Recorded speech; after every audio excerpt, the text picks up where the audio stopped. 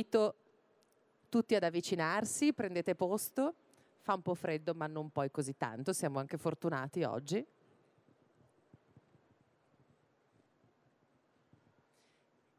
E l'ospite di oggi, quindi diamo ufficialmente il benvenuto a Catherine Vautrin, quindi parola poi a Gilda Boiardo. Buongiorno, eh, spero che questi nostri incontri che si ripeteranno anche nei prossimi giorni siano interessanti, forieri di nuove idee per tutti eh, i passanti, gli ascoltatori e anche gli appassionati di questi due mondi, moda e design. Abbiamo eh, un obiettivo, avvicinare la cultura del design e la cultura della moda a tutti coloro che possono essere appassionati di conoscere qualcosa in più rispetto a questi due mondi. Ieri abbiamo incontrato un designer, abbiamo parlato con Fabio Novembre che ci ha raccontato delle sue esperienze trasversali di contaminazione, di compenetrazione di questi due mondi, perché noi parliamo di progetto, il progetto è trasversale sia alla moda quando si progetta un evento per la moda, quando si progetta un vestito, quando si comunicano moda, vestiti, sfilate e anche il backstage di quello che sta dietro a tutto questo. Avete una eh, grande opportunità di vedere dei backstage che stanno normalmente nascosti e che in questa occasione vengono resi pubblici, le, le modelle vengono truccate, preparate per la sfilata in un modo molto visibile in questa gabbia trasparente. Ieri abbiamo quindi parlato di come si progetta una, un, un'architettura che è anche un'architettura destinata alla vendita di vestiti, attraverso con un architetto e un designer. Oggi parliamo di comunicazione, di architettura per gli spazi della moda, di product design per l'oggetto di moda, ma anche l'oggetto di arredo che è nelle nostre case rivestito magari di tessuto di moda e ne parliamo attraverso l'esperienza di Catherine Vaudrin. Catherine Vaudrin non è un designer ma è una manager, una manager che ha lavorato in Louis Vuitton occupandosi inizialmente degli spazi di Louis Vuitton e ha introdotto quella che è ormai quasi una consuetudine di far progettare gli spazi nel mondo da dei progettisti, da degli architetti, per poi occuparsi sempre di comunicazione in questo caso per i cento anni del monogramma della Louis Vuitton. Quindi sempre progetto, ma progetto più rivolto alla comunicazione. È passata poi dal 2000 ad essere presidente amministratore delegato della, della casa Pucci e all'interno di Pucci ha anche qui lavorato su questa commissione tra progetto di design, product design, progetto di arredo, progetto di spazio e progetto di sfilate, nonché mh, eh, far diventare un marchio che era stata un'icona degli anni 50, un marchio nuovamente attualissimo, contemporaneo e un'icona del terzo millennio. La parola a Catherine Vaudrin. Grazie Gilda. Allora, la cosa che volevo raccontare sull'invito di Gilda era di fare capire quanto il design eh, può fare parte di una strategia di, di, marchio per un marchio di moda, lusso, accessorio, per precisare, allargare, completare un punto di vista eh, su, su un marchio. E ho avuto la fortuna eh, quando ero responsabile dell'immagine globale dei negozi da Louis Vuitton eh, di iniziare un progetto eh, che eh, poi è vero è diventato molto più importante e che continua oggi. La, una delle cose che, sulle quali volevo insistere era che eh, un progetto non nasce mai, come dire, da nulla eh, nasce sempre da un pensiero che mano a mano si, si precisa nella, nella mente de, dei team, dei manager, de, de, della gente che gira intorno al marchio. E lì eh, siccome si parla di Vuitton e di, di, una casa francese, tutto era partito da, da Parigi eh, dove già all'inizio, de, diciamo nel 95, avevamo fatto eh, un primo esperimento con eh, una designer inglese, Anushka Hempel, con un primo negozio e un secondo sulle Champs-Élysées con Pita Marino. E, eh, dopo queste due esperienze di, eh, come dire, riimmaginare gli spazi del marchio per fare vivere un'esperienza eh, sensoriale completa intorno a un marchio molto forte, abbiamo avuto voglia di andare, di fare un passo successivo e, e questo è stato possibile anche perché è nata un'opportunità eh, a Nagoya in Giappone dove eh, come dire, ci sono più opportunità che in Europa di fare dei building ex novi, eh, di eh, come dire, creare per la prima volta una casa nuova, un palazzo Louis Vuitton. E ehm, abbiamo scelto apposta un giovane architetto eh, all'epoca star emergente che poi eh, eh, è diventato ancora più famoso e eh, si è affermato, eh, si chiama John Aoki. è iniziato un percorso con lui molto interessante nel quale noi gli abbiamo raccontato Louis Vuitton. Però allo stesso momento volevamo che lui venisse fuori con un progetto che lo raccontasse anche lui, la sua visione moderna, modernissima, elegantissima. E, e lui è venuto fuori con uh, un gioco molto sofisticato uh, basato sugli elementi del, uh, grafici del marchio. È buffo che dica questo davanti a un negozio Louis Vuitton. Eh, che sono il Damier e, e LV. E dunque il risultato di questa prima esperienza è stata questa scatola che poi richiama anche un po' il baule d'origine di Louis Vuitton come una doppia scatola eh, dove eh, questo effetto traslucente nasce da una superposizione di motivi di damier, questi quadrati famosi della, della Louis Vuitton. E, ed è stato un, un, grandissimo successo che ha portato veramente uno marchio era fortissimo, è quello, però uno, stato, uno statement di, di, eleganza, di modernità che ha proprio rinforzato eh, la, l'immagine, ha completato l'immagine del marchio. E dopo, eh, a partire diciamo, del, grande successo di questo primo passo, che credo di poter dire è stato uno dei primi nel mondo del retail, eh, abbiamo, questo è sempre Nagoya, eh, come si legge oggi nel website Louis Vuitton, eh, sono nati altri progetti, questi come una pila di scatole di bauli eh, omotessando a Tokyo, eh, questo a New York, sempre con lo stesso architetto, però poi si è anche allargato il discorso ad altri eh, designer e questo può essere, non c'è una strategia, un modo di fare. Eh, Louis Vuitton ha scelto questa strategia di eh,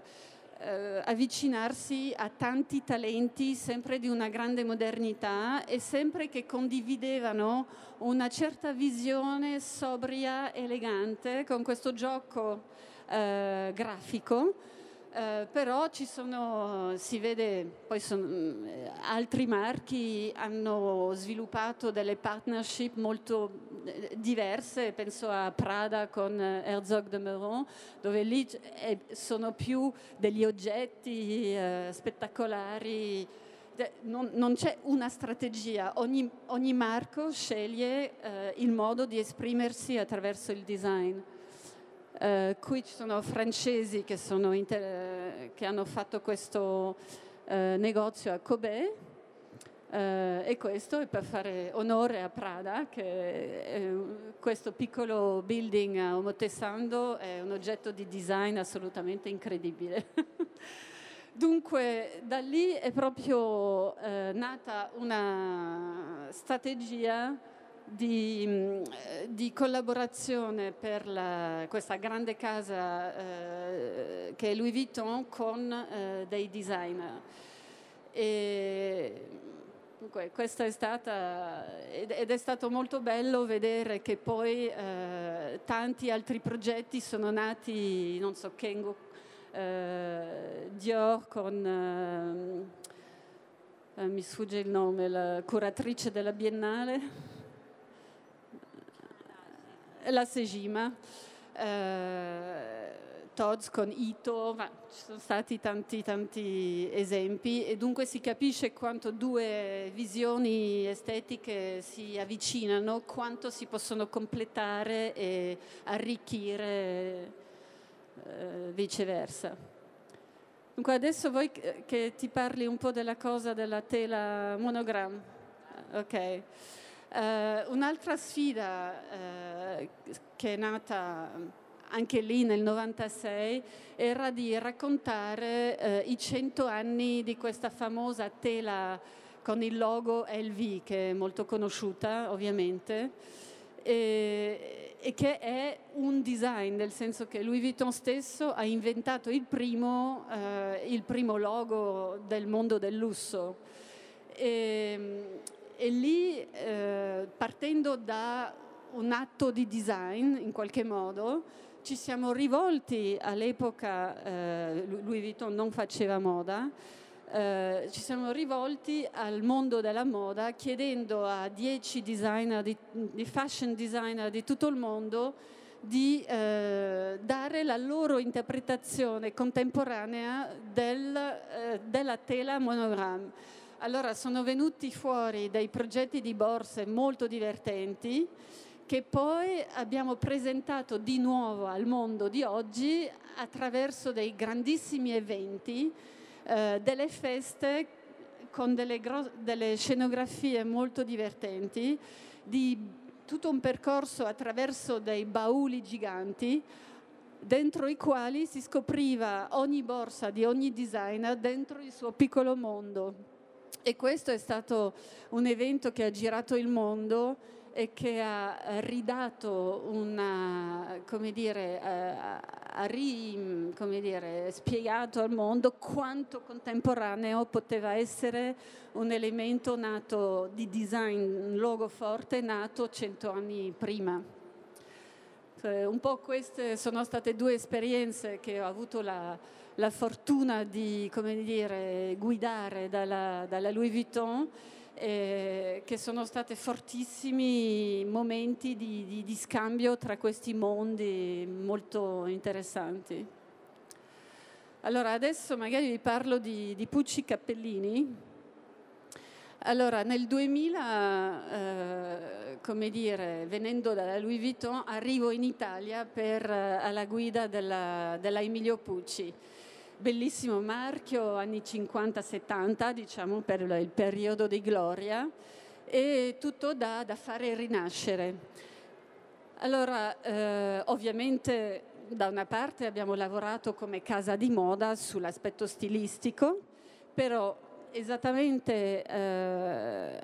allo stesso momento, immediatamente abbiamo iniziato un percorso di eh, fare vedere il marchio in un contesto contemporaneo. Abbiamo aperto un, un primo negozio subito, eh, ottobre 2000, eh, fatto da un architetto e una decoratrice, Tiziano Vudafieri, Elena Pessoa, ed è stato eh, già un primo passo importante e Gilda ci aveva fatto l'onore eh, in quel momento di fare una bellissima eh, recensione, pubblicazione del negozio. E noi eh, è stato incredibile quanto eh, il pubblico e il pubblico appassionato di Pucci, i fan di vintage, ci raccontavano quanto questo negozio gli parlava di Pucci pur essendo di una modernità assoluta. E questo era stato il primo passo fin da subito, quasi anche prima di lavorare sul prodotto, era nato il negozio. E diciamo che subito dopo nasce un'opportunità attraverso un giovane designer, Patrick Norguet, francese, eh, che avevo conosciuto lavorando dalla Louis Vuitton, eh, che aveva fatto una bellissima, stava facendo un be- una bellissima sedia con cappellini e mi chiama e mi dice ma Catherine perché non facciamo, guardiamo questo progetto anche con gli occhi di Pucci? Ah, gli dico, guarda, sì, io sapevo che era bravissimo, aveva già una sedia al MoMA, eh, lo ammiravo molto. E, e allora lui mi fa vedere il suo progetto e, ehm, e, penso sì, facciamolo perché eh, Pucci ha proprio il design nel, nel DNA. Eh, è grafismo, è colore, è, è movimento eh, nelle sue stampe. E dunque abbiamo lavorato insieme per scegliere eh, anche una stampa che avesse un senso, eh, nel senso che accompagnasse bene il movimento della sedia e abbiamo anche subito trasformato questa, eh, questa mh, mm, esperienza di product design in un piccolo evento nel salone nel mobile. Dico piccolo perché noi lo vedevamo come una cosa, una chicca bellissima, invece è diventato un evento molto importante in quel salone lì del 2001. E poi eh, l'abbiamo anche eh, integrato nel eh, design dei negozi, però non è nato per essere nel design dei negozi, sono proprio state estetiche che si sono incrociate e raggiunte e, e, questa è una delle bellezze del, del, de, di questi mondi quando si avvicinano e che non si sa mai dove le cose vi portano, nascono in un certo modo e poi magari si ferma qua, magari va oltre, eh, magari nascono altre opportunità. Eh, può essere un one shot come questa che era più intesa come eh, un segnale di vivacità, di contemporaneità per Pucci, eh, quanto per esempio per, per Vuitton era più una strategia con investimenti forti che è una strategia che va avanti oggi alla grande. Dunque, voilà, vi volevo raccontare queste due cose. E la prossima tappa della tua esperienza quale è? Cioè, dopo aver lavorato così intensamente all'interno delle, a, di aziende, in cui sviluppare quindi un progetto ma anche un programma che poi si sviluppa, che prende anche delle pieghe magari non previste all'inizio, secondo te qual è la, la strategia che si può consigliare a dei marchi più giovani e quale, come vedi questi mondi che sono così, eh, diciamo, affini eh, e pensi che lo sviluppo di queste affinità possa aiutare reciprocamente i due mondi, i marchi differenti che appartengono ai due mondi? Sì, quando sono riuscite direi di sì. Eh, la difficoltà in questi esercizi è di scegliersi bene, come in una coppia in qualche modo, perché mm, non è che tutti i designer vanno bene a tutti i marchi, non ci sono ricette, è una storia di,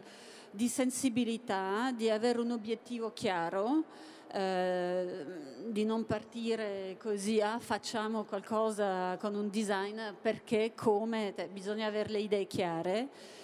e, è una storia di, di lifestyle, di gusto, di sensibilità, di sogno. Dunque bisogna proprio trovare gli, gli accostamenti giusti e questo non è facile. Uh, però credo che eh, siccome sono due mondi che questi, diciamo, in questi ultimi 10-15 anni si sono molto avvicinati anche perché si sono democratizzati. E dunque sia la moda che il design sono diventati fenomeni molto più eh, di massa in qualche modo e questo spiega anche l'interesse crescente di, di, del pubblico grande per questi incroci strani, rinnova eh, la, la, percezione di un marchio, di un prodotto ed è un elemento di comunicazione molto forte. Dunque io credo che non ci sarà mai fine a questo, a questo dire, tipo di collaborazione. Quindi prevedi nuovi e più ricchi sviluppi. Sì, sì, sì, assolutamente. Bene, se nessuno ha domande o curiosità da esprimere, io credo che ringraziamo Catherine Vautrin Grazie mille Gilda. per le cose meravigliose che ci ha fatto vedere e aspettiamo il prossimo appuntamento.